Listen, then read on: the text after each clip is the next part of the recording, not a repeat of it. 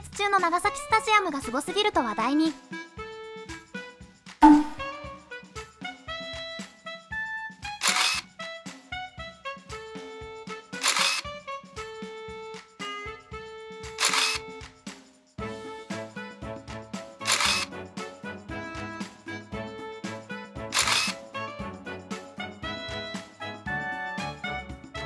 これは本当にすごいな。ほんと長崎羨ましい。